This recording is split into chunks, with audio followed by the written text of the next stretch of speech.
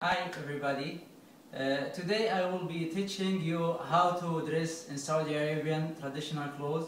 The clothing that we wear in Saudi Arabia is very different than American and is uh, the same for everybody. Man and, men and women uh, are responsible uh, for the dressing uh, appropriately in uh, public. Firstly, uh, men wear uh, fanila and uh, sirwal.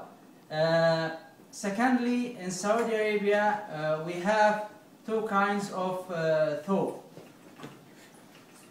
One uh, for winter uh, and uh, the other is for summer. Thirdly, we wear uh, a.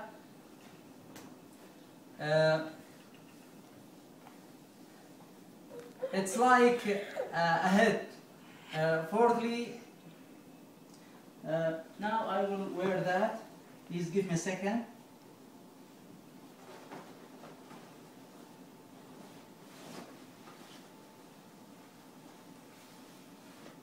And close this, please.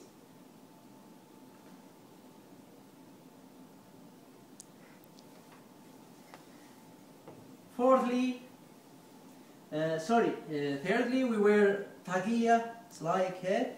And fourthly, we wear this one. Its name is shumak. Over the taqiyya on our heads after putting the shumak and uh, we place uh, on uh, okal over our shumak.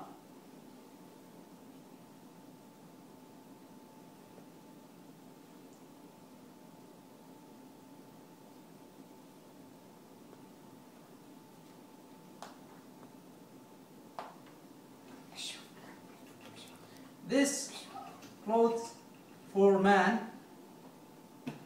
and there are some clothes for women in Saudi Arabia. Firstly, uh, Saudi Arabian women wear something like uh, a dress called, uh, called uh, abaya. It is long black cover like a long dress.